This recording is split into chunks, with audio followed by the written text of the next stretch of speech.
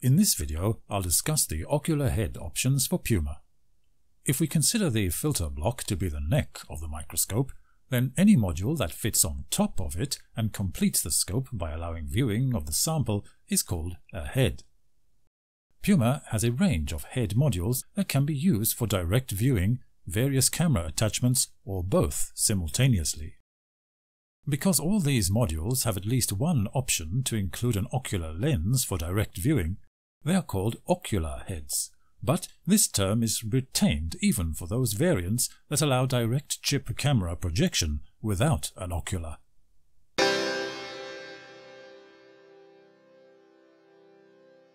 The simplest ocular head is the fixed viewing angle monocular, that viewing angle being straight up.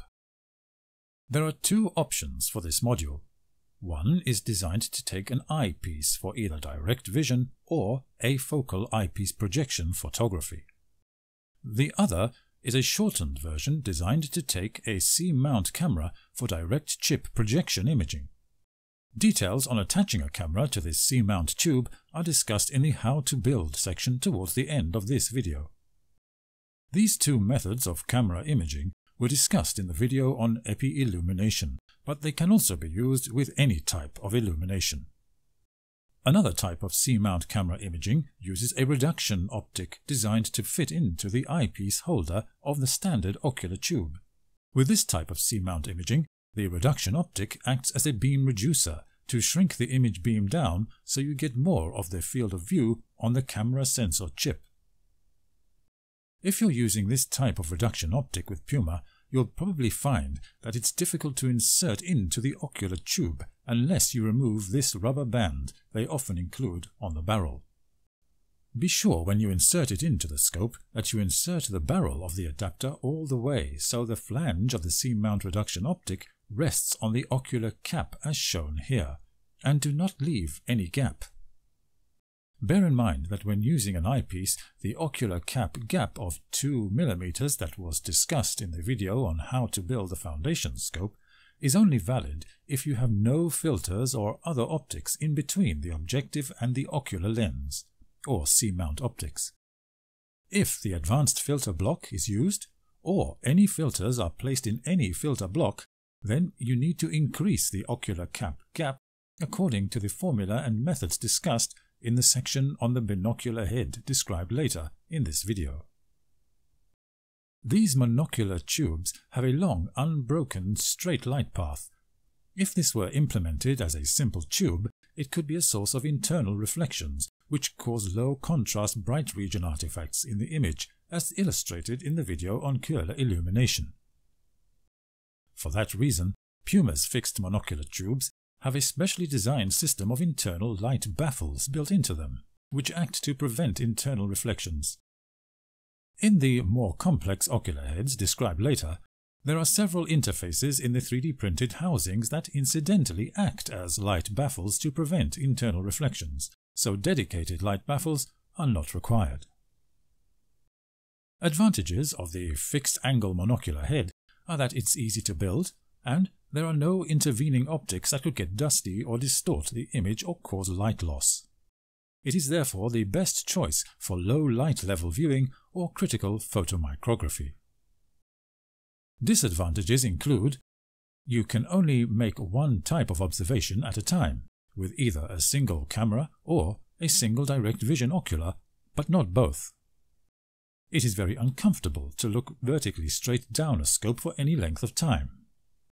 It is also uncomfortable to look down a scope with just one eye for long periods. The straight-up light path is not very compact, so detracts from Puma's aim of ultra-portability. There are, however, remedies for these disadvantages. For example, the trinocular camera port, described in a separate video, can be used to attach a camera simultaneously with any ocular head including the monocular or vice versa, it can act as a direct vision port when a camera is used on the main ocular head. The whole scope can be tilted backwards using the shorter back leg on the stand. This places the ocular tube at a 35 degree angle which is much more comfortable for direct viewing. The binocular head module, which I'll describe shortly, was designed to make prolonged viewing more comfortable by letting the observer use both eyes. The other ocular head modules discussed in this video allow some folding of the light path, which makes the scope even more compact, and they can provide even better solutions to the awkward straight-up viewing angle which do not require tilting the whole scope.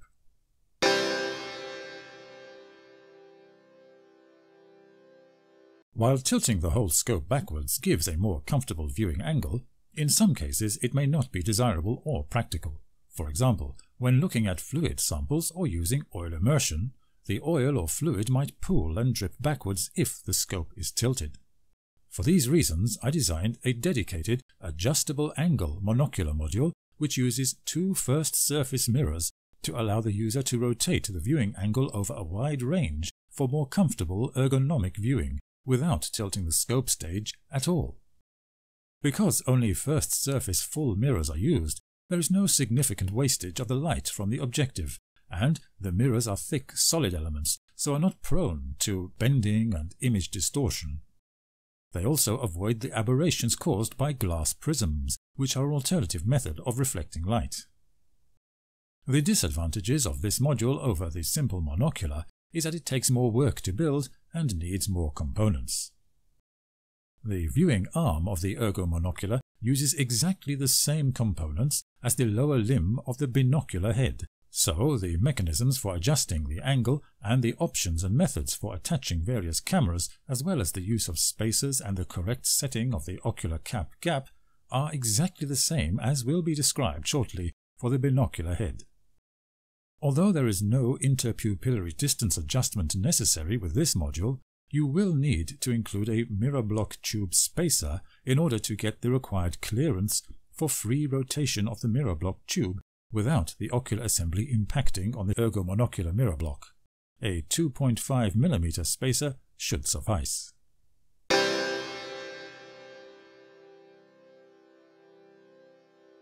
If you're going to be looking down the microscope for long periods of time, it's much more comfortable to use both eyes simultaneously. This is why most professional microscopes have binocular heads. The basic optical path in the Puma binocular head was introduced in the video on beam splitters. In addition to the central beam splitter block, there are two 45-degree ocular mirror mounts, and these direct the image beam upwards to the oculars. The part of the ocular mirror mount that actually houses the 45-degree mirror is called the mirror block, and these mirror blocks fit into and slide along a mirror block tube, or MBT, on each side. They also have built into them a tri-screw mirror angle adjustment mechanism, which is used to do fine alignment of the image position so that the image seen by each eye is the same. This alignment is important for comfortable binocular vision and will be described in more detail later.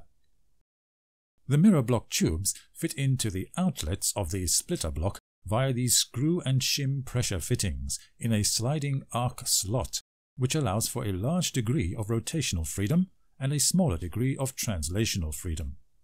So, unlike most microscopes, Puma's binocular head module is very versatile and can be used for multiple purposes. In fact, there are four uses for it. 1. As a binocular viewer for one person. 2 as a double header, double monocular viewer, so two people can look down the microscope together at the same time. 3. As an ergo monocular head for one viewer where the viewing angle can be adjusted without tilting the whole scope. And 4. As a camera attachment port for one or two cameras simultaneously. I'll now discuss each of these uses in more detail. Before I move on to the next part of this video, I would ask that if you like these Puma videos, please take a second to support the project by clicking on the big red subscribe button and give the video a thumbs up. If you have social media accounts, also please share these videos on them using the YouTube share button. Okay, now back to the rest of this video.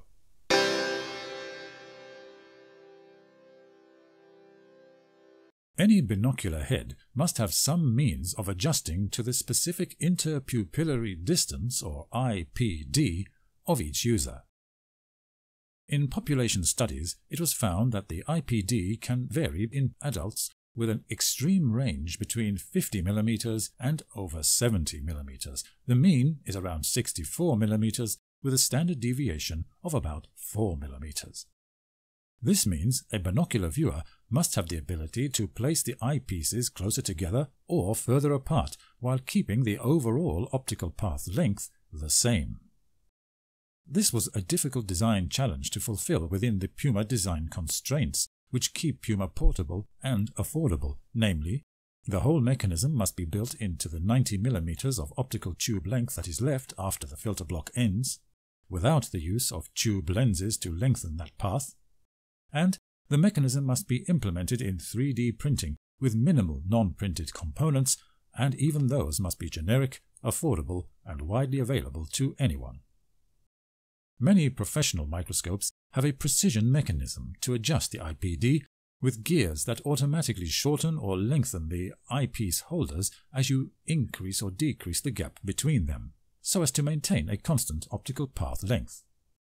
This kind of smooth precision mechanism is difficult to achieve in 3D printed plastic over the required range of motion. Other microscopes adopt a rotational mechanism, which changes the IPD by placing the eyepieces wider apart or closer together on a circular path, and so does not require auto-lengthening or shortening of the eyepiece holders, because the linear path length to each eyepiece at each IPD is always the same, being the radius of the rotation arc. While this rotational motion is more practical to achieve in 3D printing, there simply is not enough room in the 90 mm of focusing path length available to a Puma ocular head to implement this mechanism. For these reasons, I had to make some compromises for the Puma binocular head. For example, it was not possible for me to make Puma cover the whole range of adult IPD, so I took a pragmatic approach to aim for the mean plus or minus at least two standard deviations, and the mechanism I finally came up with has an IPD range between 59 and 73 mm. If your IPD is outside this range, you won't be able to use the Puma binocular head for binocular vision. The Puma IPD adjustment is achieved via a manual sliding mechanism where the required IPD is fixed with a custom number of spacers in these mirror block tubes as shown.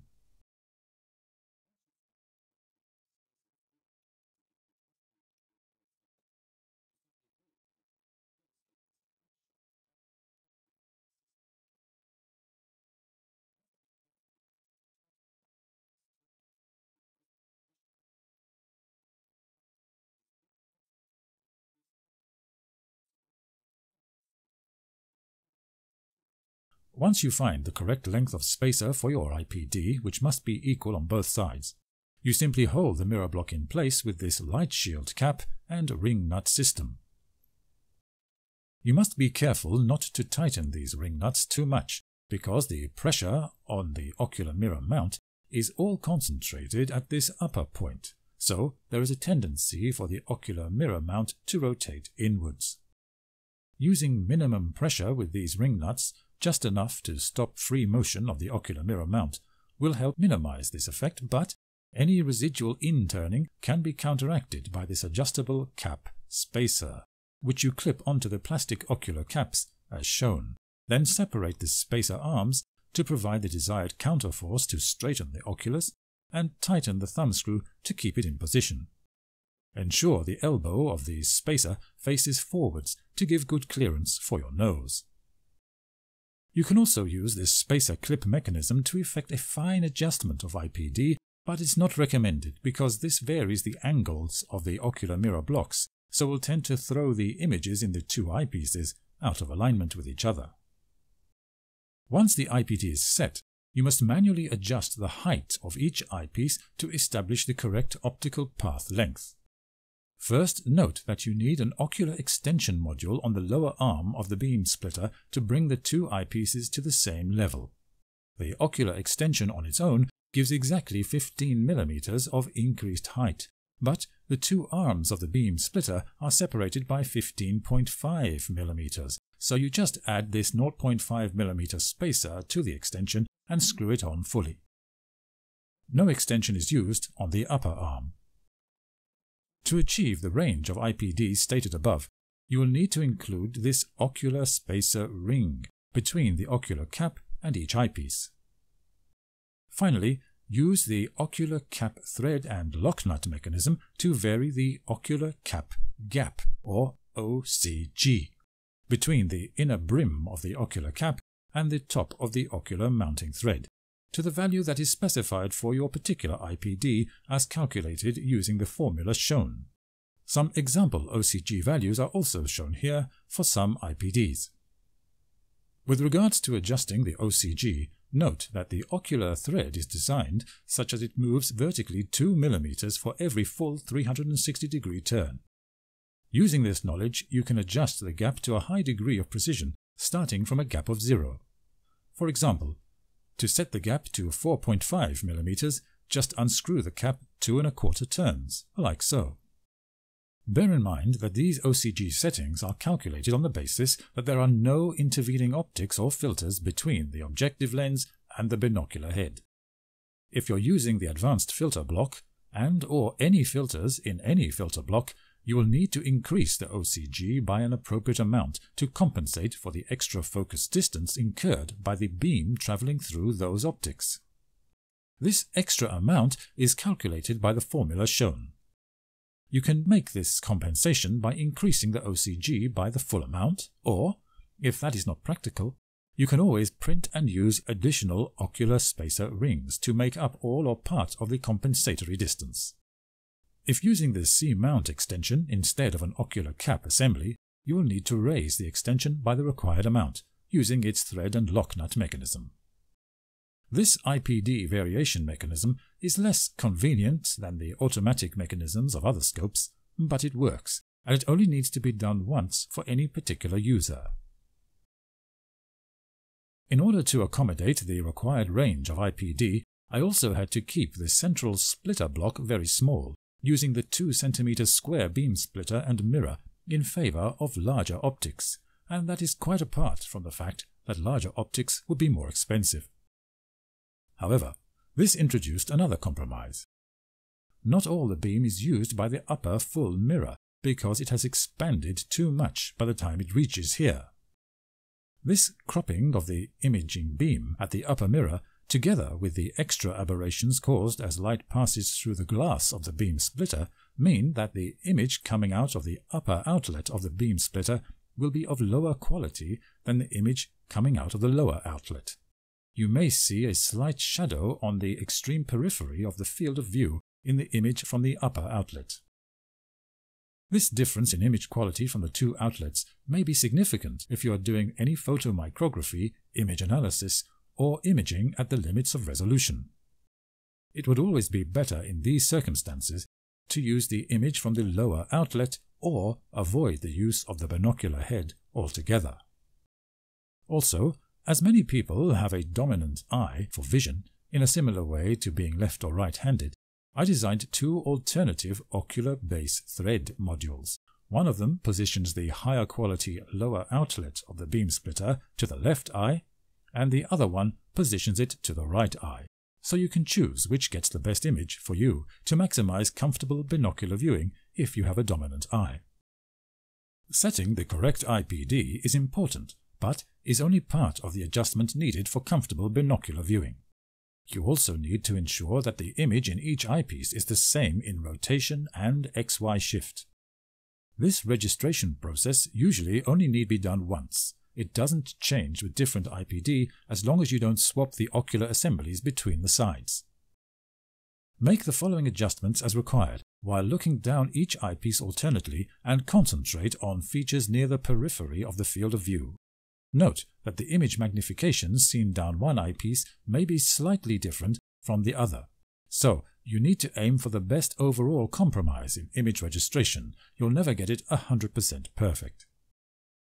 The rotation adjustment of each ocular image is done by rotating the mirror block tube. The nominally correct position is with the MBT level with this flat part of the splitter outlet. Only slight, if any, deviation from this will be needed if the system has been put together correctly. Note that rotating both MBTs in the same direction as each other causes the images in each eyepiece to rotate in opposite directions to each other. This means that you cannot tilt both eyepieces forwards or backwards together to find an ergonomically comfortable viewing angle for binocular vision. The correct viewing angle for the binocular head in this binocular viewing mode will be essentially straight up, just as for the simple monocular head. Once you've got rotational alignment between the two ocular images, proceed to get XY translational alignment by using the tri-screw adjustment mechanism on each 45 degree mirror. To do this, you first need to remove the light shields to access the adjust screws. Just use the ring nuts on their own, but remember to replace the light shields when alignment is done. Bear in mind that only slight adjustments are possible here you need to do a bit of give and take from both mirrors. Don't try to do all the correction in one side alone. Having said that, if you do get an edge shadow in the field from the upper splitter block outlet, try to make your alignment with most or all of that shadow out of the field of view for best viewing experience. This shadow is seen more severely with higher magnification objectives, so it may be best to do this alignment using the highest magnification objective you intend to use. For best results, you may need to iterate between adjusting rotational alignment and XY alignment. It's worth the effort to get this right because you don't need to repeat this procedure once set, and bad alignment makes for uncomfortable viewing. If you find there is not sufficient adjustment room in either XY or rotation or both, then recheck the construction of the binocular head components, including the ocular mirror mounts and the attachment of the mirror block tubes to the central beam splitter and the placement of the optics in the central beam splitter. Any small bit of stray plastic or imperfect insertion of a mirror or beam splitter could be causing the issue. Also ensure the two eyepieces are identical in type and parallel vertically, not pointing inwards or outwards.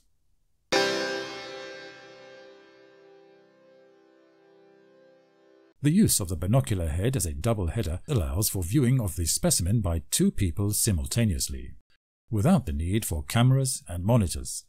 Not only is this in keeping with Puma's ultra-portable ethos, but it also allows each viewer to see the whole microscope field in complete optical resolution, unlike a camera monitor system. This application is greatly facilitated by the use of the AR projector HUD with its interactive pointer so the observers can point structures out to each other as part of the discussion. The use of the binocular head as a double header simply involves rotating one MBT forwards and one backwards. Note that for maximum rotation, you need to use the extreme screw hole positions instead of the default middle ones. Although the rotational position of the image will be completely different for one viewer compared to the other, you should align the system so that the same XY field of view is present for both viewers. This is so that both viewers can see the same structures at the periphery of their field of view, so that if one viewer points to a structure, it will be present in the field of view for the other viewer, regardless of the rotational difference.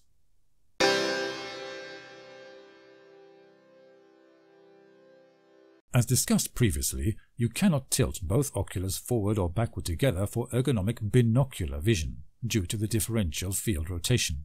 This means that if you need an ergonomic viewing angle for binocular vision, just as with the fixed angle monocular head, you have to use the short back leg on the scope to tilt the whole scope backwards to 35 degrees. But, as discussed earlier, this has drawbacks. In such cases, you can keep the scope level and simply rotate the MBT of one ocular to a convenient viewing angle. The other ocular can be used to attach a camera or just not used at all. If you don't want a second ocular lens in place, you should remove the MBT and cover the unused splitter block outlet to protect the optics from dust and stray light. In regards to minimizing back-reflected light, it is best to cap this off with a light sink module, and for this reason the CMBB cover model is provided which has a condenser thread on it to allow you to affix the epicondenser light sink here.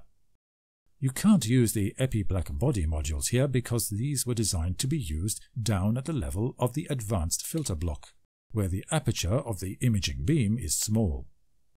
Up at the level of the binocular beam splitter, the imaging beam is spread too large to fit into that small aperture, so we use the epicondenser instead, without a condenser aperture disc. See the video on epi-illumination for more details on the epi-condenser. Note that with the binocular head used as an ergo monocular, you are effectively wasting 50% of the available light. For bright field imaging and some epi-illumination modes, this may not be a problem, as the Puma LED is very bright. However, for dark field and epifluorescence, it could be an issue. The dedicated ergo monocular head module described previously avoids these limitations.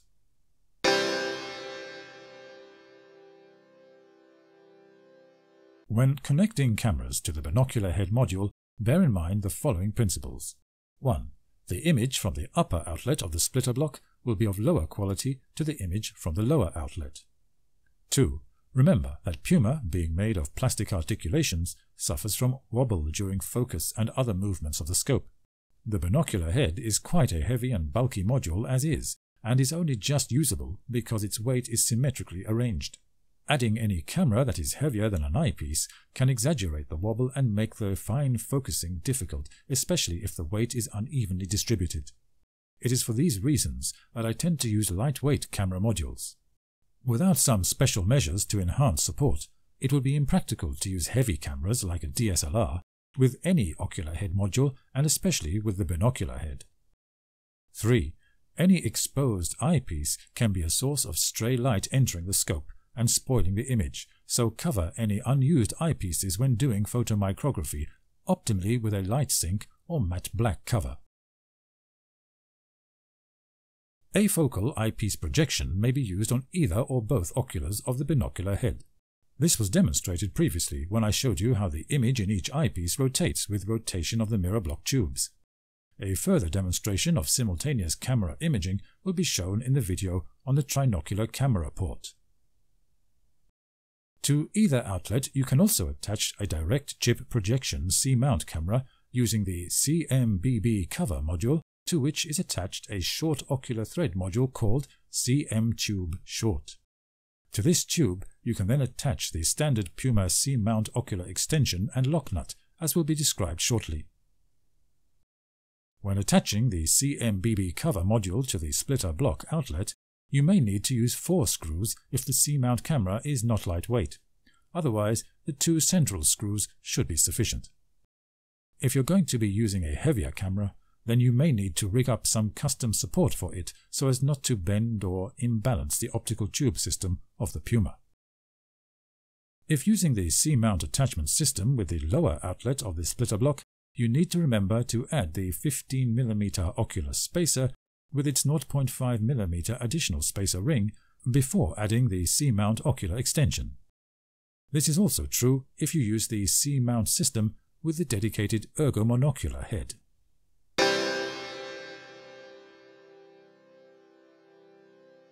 These are the parts and the tools you'll need to build the ocular head modules. Details are provided in the video description. Thanks to Puma's modular ethos, the build instructions for many of these parts were covered in previous videos, so will not be repeated here. The simple monocular head was dealt with in the video on how to build the foundation scope. That video also showed you the adjustable ocular holder parts, which are common to all viewports that accept an eyepiece. The C-mount variant of the monocular head comprises a shortened ocular tube, a lock nut and C-mount ocular extension. The ocular tube is printed and finished in much the same way as the simple monocular tube, so no additional instruction is required. The lock nut is the same as used for the other ocular holder attachments. The C-mount ocular extension is printed and finished similar to the standard 15mm ocular extension component described in the video on how to build the foundation scope. But, in this case, you need to clean up and train this fine C thread with a metal female C thread to ensure its action is smooth prior to use, and take care to remove any dust arising from this process. Many modern compact C-mount cameras actually use the CS standard distance from the mount to the chip, which is about 5mm shorter than the classic C-mount distance. Therefore, a metal C to CS adapter should be threaded onto the plastic C thread for use with these cameras.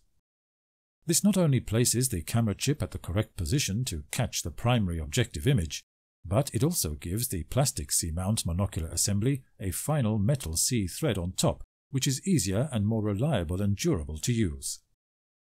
Note that many good quality C or CS mount cameras will have some focus adjustment of the distance to the chip so you can fine-tune the distance as required to compensate for filters in the beam path, such as the infrared block filter of the camera or the use of any filters in the Puma filter block.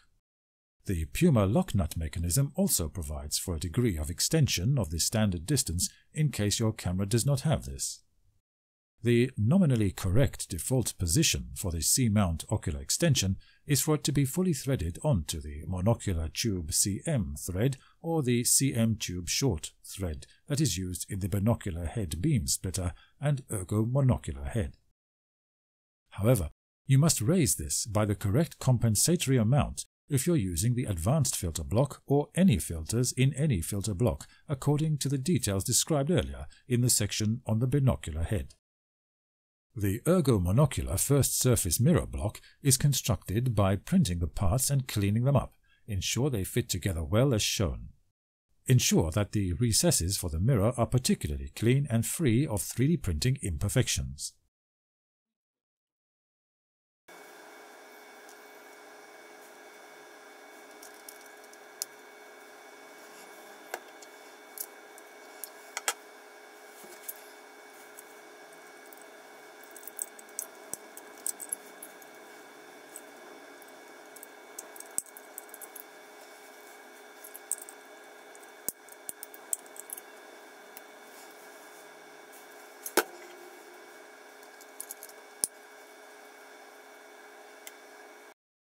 Pre-thread the holes with the M3 screws here and here, and the M2 screws here.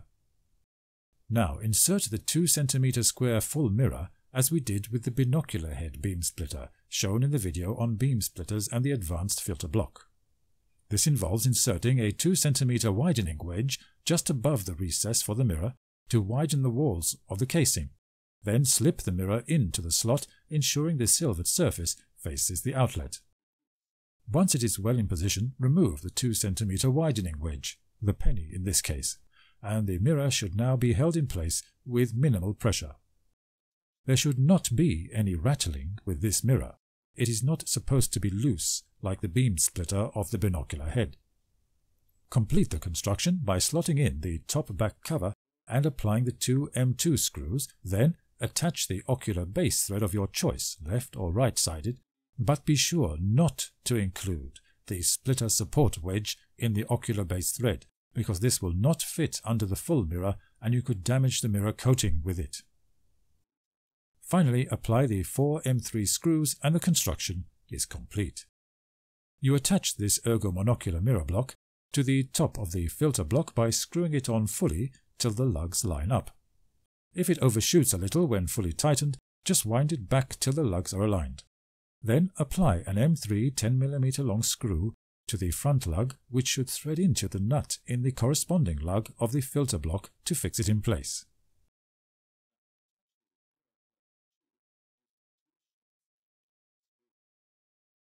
Now attach the mirror block tube using two shims and M3 screws.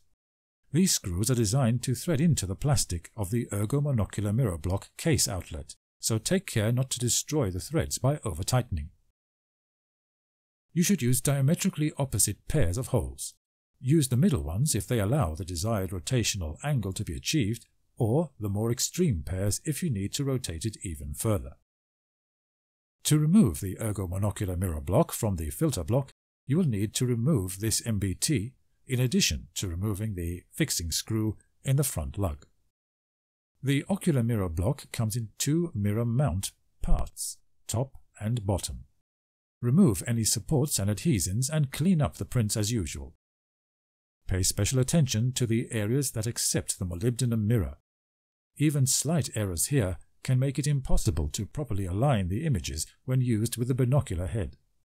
Ensure the front and upper apertures are clean and free from plastic debris. The plastic thread on the top mirror mount may need to be trained by threading an ocular extension module or lock nut onto it a few times. If you're going to use an eyepiece, complete the assembly with the lock nut and ocular cap, Remember to use a 15mm ocular extension with a 0.5mm spacer unless you are building the upper arm of the binocular module. Then insert your ocular lens to ensure it goes in without too much pressure. Sand the internal surfaces of the ocular holder if the fit is too tight. Be sure to clear away any plastic dust and sandpaper grit resulting from these cleanup procedures before proceeding to the next steps. You must insert the grub screws into the mirror mount bottom component before you insert the mirror and adjustment screws. Insert the grub screws backwards, that is, from the cut surface of the mount and wind them up into the hole by putting gentle pressure on the grub screw tip while unwinding it from the other side with the Allen key. This ensures the screws go in straight. It would be hard to do that if you try to insert them from the external surface, because the holes are partial and curvy.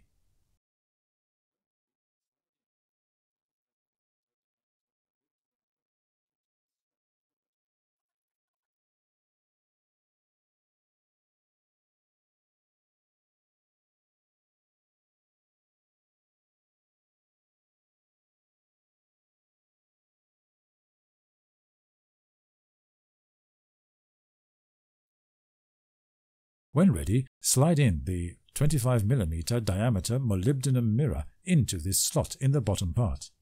Take care not to touch the reflective surface of the mirror and obviously this surface must face outwards.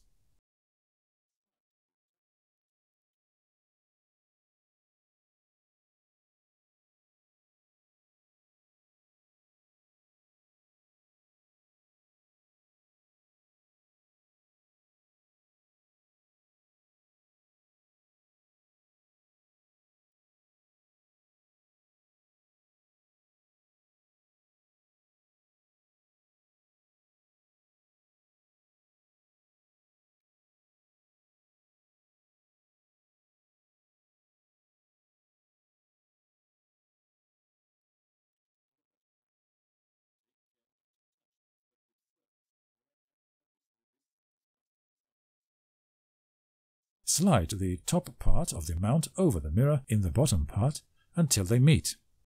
Press them together firmly and fix them in place with the two M3 grub screws. Go slowly with this, making a turn then going back half a turn, etc., to ensure you cut a good thread into the plastic without forcing the two parts of the mount apart. You don't want a gap to form between them.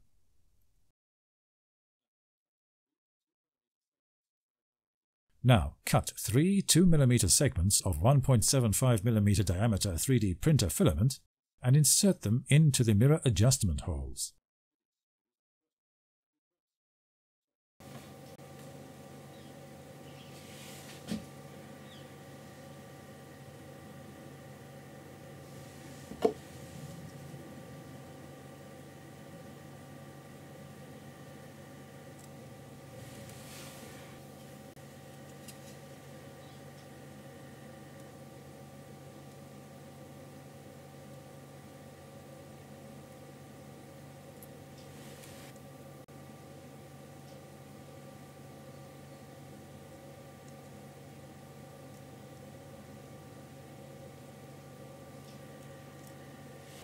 After that, insert the M3 adjustment screws, the two long-headed screws at the bottom, and the grub screw at the top. The filament segments act as protective shims to prevent the metal adjustment screws from directly grinding against the molybdenum of the mirrors and causing metal dust that can get into the scope and damage your optics, as well as make the adjustments ineffective. Bear in mind, you only get a slight adjustment with these screws, so you should aim to get good quality 45 degree surfaces on your prints.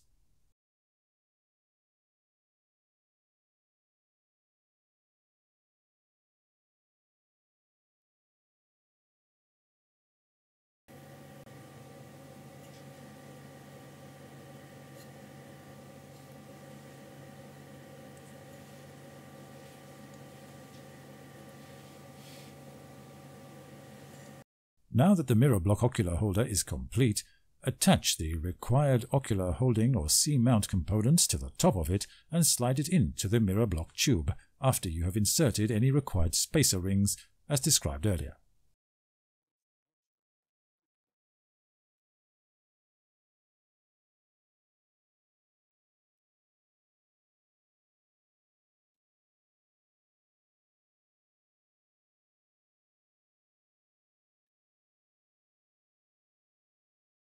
Place the light shield cap over it with the little shoulder lugs over the top open aspect of the MBT, then hold everything in place with the MBT ring nut, but remember not to make this too tight, to avoid bending the mirror block ocular assembly inwards. Important. When inserting an eyepiece or C-mount reduction optic, it is very important not to put pressure on the connection to the central mirror or splitter block attachment, or it could deform or break. The correct procedure is to hold the bottom of the MBT and apply upwards pressure while you insert the ocular lens or C-mount reduction optic. It is safer to lift the whole scope off the desk with this upwards pressure than to allow downwards pressure to be transmitted to the scope from inserting the ocular optics. This procedure is essential whenever you insert an ocular lens or C-mount reduction optic in any configuration, even with a simple monocular tube, it is advisable to hold the tube and put upwards counter pressure while you insert an eyepiece, even if it lifts the scope off the desk.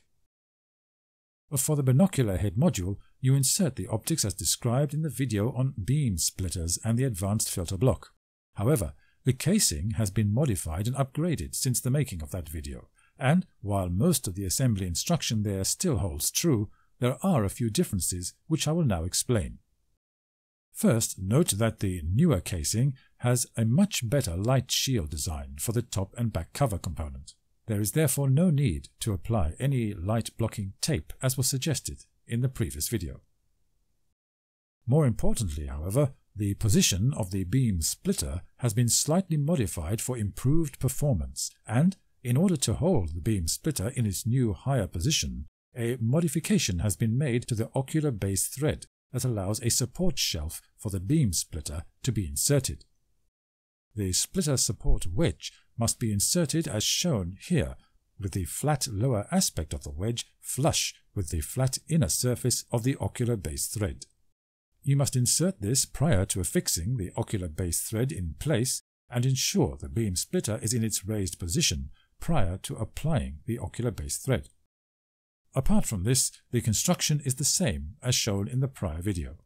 Note that you must only use this support shelf for the beam splitter and not the ergomonocular mirror block as described earlier. Once complete, this splitter block is attached to the filter block and MBTs attached to its outlets as was described previously for the ergomonocular mirror block. Likewise, the placement of the light shield caps and ring nuts and cap spacer arm is as previously described. To build the cap spacer, remove the 3D printing support from the nut arm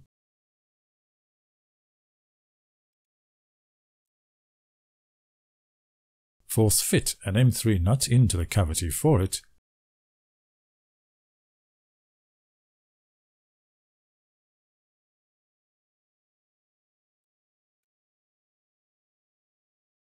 Then fix the two arms together as shown with an M3 thumb screw made as described in previous videos.